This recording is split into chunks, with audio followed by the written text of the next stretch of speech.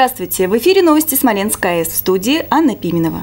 Мы расскажем вам о важных событиях, которые происходили в жизни атомной электростанции на прошлой неделе. Смотрите сегодня в выпуске. В качестве анкерного устройства будет использоваться анкерная петля. Специалисты Смоленск АЭС провели семинар по охране труда. Кто-нибудь из вас помнит э, вообще, какая вовлеченность э, по результатам прошлого года у вас была? Работники станции приняли участие в работе фокус-групп по вовлеченности. У игрока под номером 3 команда дружина первый фол. Первый фол команды. Атомщики содействуют развитию баскетбола в регионе.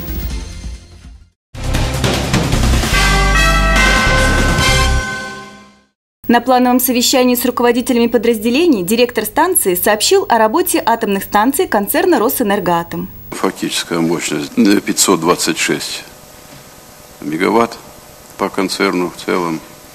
С начала года выработка 104,6% а к плану ФАС. О техническом состоянии Смоленска АЭС сообщил главный инженер предприятия. В работе 2-3 энергоблоки суммарная нагрузка 2128 мегаватт. Существенных замечаний по рабочему оборудованию нет. Первый блок значит, 24 числа установлен для проведения планового текущего ремонта. А Все работы в графике. Выработка электроэнергии за 26 дней марта составила 1,54 миллиарда киловатт-часов электроэнергии, что превышает плановое задание на 286 миллионов. С начала года выработка составила 5,77 миллиарда киловатт-часов, сверхплана 919 миллионов. Радиационный фон на промышленной площадке Смоленской АЭС и прилегающей территории не изменялся и соответствует естественным природным значениям.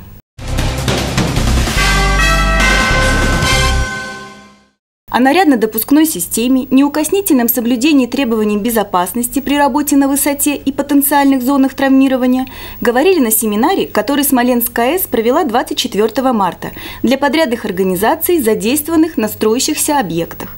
Это специализированное обучение – одно из многочисленных мероприятий, приуроченных к Всемирному дню охраны труда, который традиционно отмечается 28 апреля. В планах у нас было провести значит, практическое занятие по нарядно-допускной системе для того, чтобы объяснить те требования, которые мы предъявляем к подрядчику при организации нарядно-допускной системы и продемонстрировать возможности и порядок применения специализированных э, средств индивидуальной защиты и эвакуации при организации работ с высоты для того, чтобы э, работники, участвующие в этом процессе, в процессе строительно-монтажных работ, увидели это воочию и поняли э, ту необходимость и, и те средства, которыми можно быть обеспечена э, защита от падения с высоты и э, средства для эвакуации работника в случае его э, зависания, в случае нештатной ситуации при организации работы на высоте.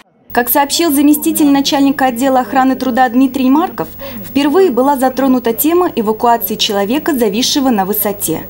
Представители компании «Неоформ» во всех деталях разъяснили и на собственном примере показали возможности новых приспособлений по характеристикам и качествам шагнувших далеко вперед. По признанию участников, встреча получилась максимально актуальной и полезной. Обсуждены важные производственные темы, получены исчерпывающие ответы на конкретные вопросы. Внутренняя перестройка. И уже э, персоналу объясняешь, что, ребята, вот это вот можно, это нельзя, э, ну, довольно-таки профессионально.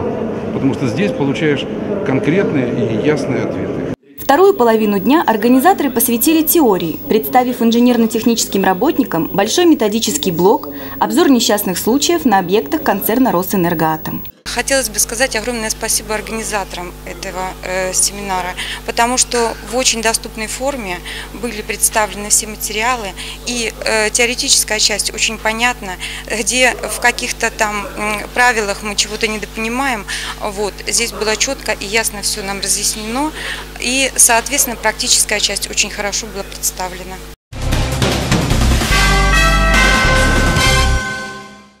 Какие проблемы на предприятии и за его пределами волнуют персонал Смоленск АЭС, что влияет на их уровень мотивированности на достижение наилучших результатов в работе, эти и многие другие вопросы 23-24 марта обсудили на фокус-группах по результатам февральского исследования корпоративной вовлеченности «Твое мнение важно Росатому». Со смоленскими атомщиками беседовал внешний консультант, руководитель программ корпоративной академии Росатома Вадим Апрелков.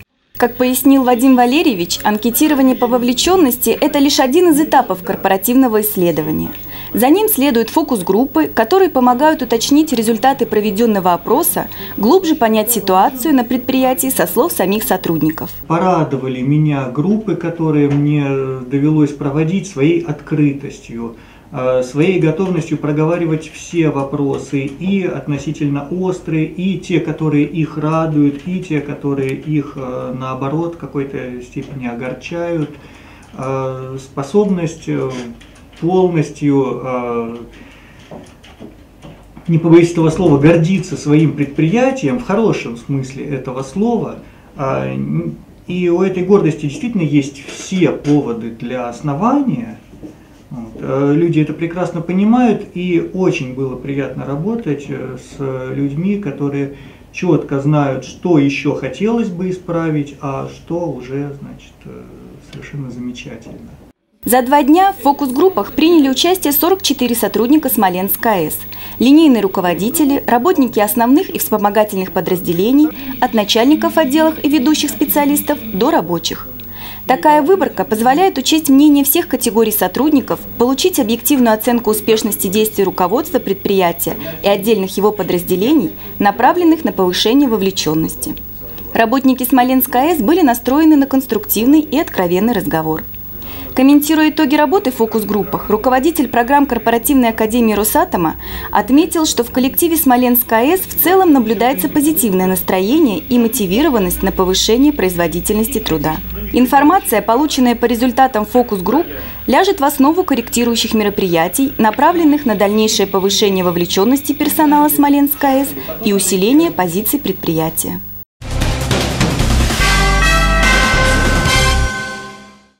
Баскетбол в Смоленской области развивается колоссальными темпами в последние годы, и в этом огромная заслуга концерна «Росэнергоатом» и «Смоленск АЭС».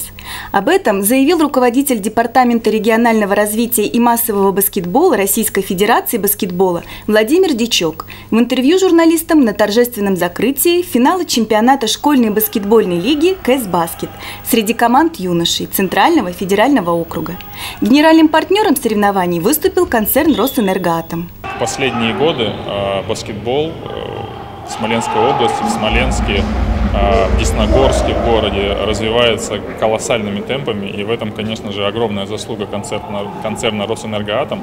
Это заслуга атомной, электро... атомной станции Смоленской, потому что тот прогресс, который произошел здесь, ну, это, это, это просто ну, такое редко где увидишь.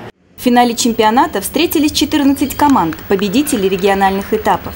Настолько масштабные спортивные состязания среди школьников по баскетболу в нашем регионе прошли впервые. На самой большой спортивной площадке Смоленской области собралось более двух с половиной тысяч детей, юниоров, баскетболистов и болельщиков – это стало возможным благодаря проекту по развитию молодежного баскетбольного движения «Динамо Росатом», инициированного в 2014 году генеральным директором концерна «Росэнергоатом», депутатом Смоленской областной думы Андреем Петровым. Как раз таки руководители, они понимают, что э, спорт – это жизнь, это движение. Не только в Росатоме, да, но и в спорте, и для детей, и для развития всего, всей э, Смоленской области. Всего, я так думаю, это самый активный, наверное, второй год – и за два года такой прогресс. Какой зал красивый. Благодаря все этим людям, которые любят баскетбол. А мы всегда рады поддерживать. Помимо зрелищных и захватывающих баскетбольных баталий, для участников и зрителей финала «Кэсбаскет» была подготовлена интересная образовательная и развлекательная программа. Тематические лекции, которые для студентов и преподавателей Академии физической культуры провели заслуженный тренер РСФСР Евгений Гомельский и генеральный директор Центра спортивной подготовки «Динамо Росатом» Сергей Фомин. Выступления лучших творческих коллективов Смоленска и Десногорска, единственные в России шоу команды баскетбольных акробатов – розыгрыши призов, различные выставки. Я хочу сказать огромное спасибо нашему генеральному партнеру, концерну Росэнергоатом и всему руководству концерна. Я хочу сказать спасибо Смоленской атомной станции, нашему надежному партнеру в течение трех лет. Всех с праздником! Большой интерес у школьников и студентов вызвала передвижная экспозиция «Смоленск АЭС», которая работала на протяжении всего финального игрового дня чемпионата в фойе спорткомплекса «Олимпийский». Ребята узнали о работе ведущего энергетического предприятия региона, его перспективах развития, а также о том, как можно стать атомщиком. По итогам турнира бронзовые медали финала ЦФО «Кэсбаскет» завоевали баскетболисты из Владимирской области. На втором месте – команда из Тульской области, а победителями стали баскетболисты из Тверской области. Призеры и победители награждены кубками, медалями, грамотами, памятными сувенирами Смоленск АЭС. Лучшие игроки и тренеры команд отмечены призами концерна «Росэнергоатом».